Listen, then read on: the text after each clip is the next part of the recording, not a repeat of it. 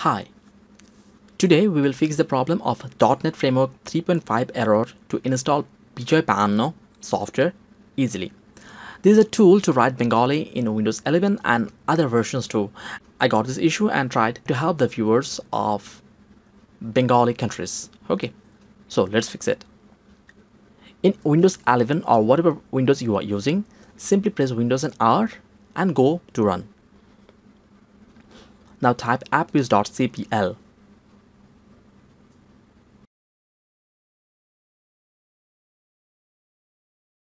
Now click turn Windows feature on or off.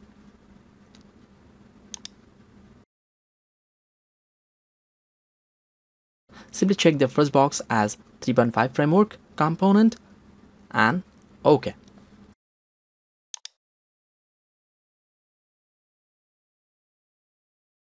Done. Now it will automatically do some works and make sure that you have active internet connection.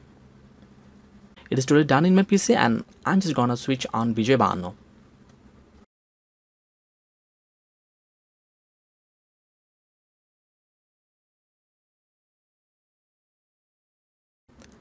yes it's working and the task and the taskbar is there it's working smoothly. Hope this video helped you especially the bengali writing persons. And please be with us and subscribe to inspire. Goodbye